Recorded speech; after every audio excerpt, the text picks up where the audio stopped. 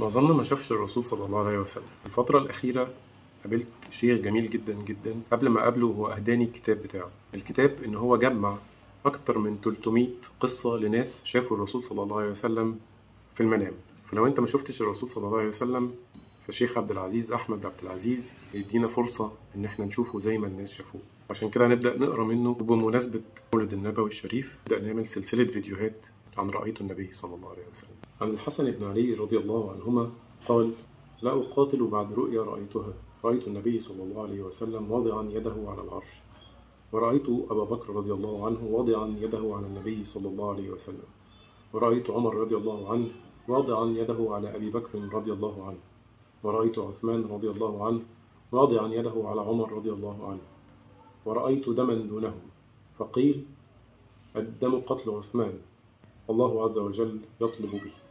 أضاق الحسن بن علي رضي الله عنهما وكان عطاؤه في كل سنة مئة ألف فحبسها عنه معاوية رضي الله عنه في إحدى السنين فأضاق إضاقة شديدة.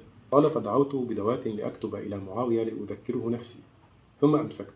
فرأيت النبي صلى الله عليه وسلم في المنام فقال كيف أنت يا حسن؟ فقلت بخير يا أبتي وشكوت له تأخر المال عني. فقال أدعوت بدوات لتكتب إلى مخلوق مثلك تذكره ذلك؟ قلت نعم يا رسول الله فكيف أصنع؟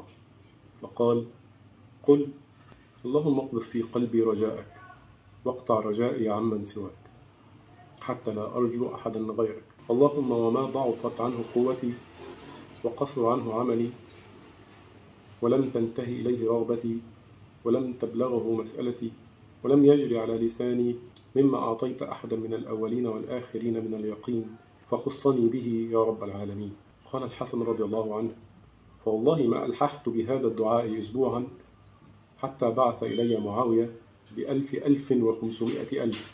فقلت الحمد لله الذي لا ينسى من ذكره ولا يخيب من دعاه. رأيت النبي صلى الله عليه وسلم في المنام فقال يا حسن كيف أنت؟ فقلت بخير يا رسول الله.